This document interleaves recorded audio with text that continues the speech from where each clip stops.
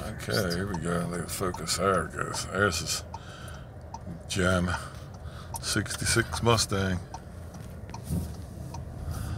Uh, from Winchester, Virginia.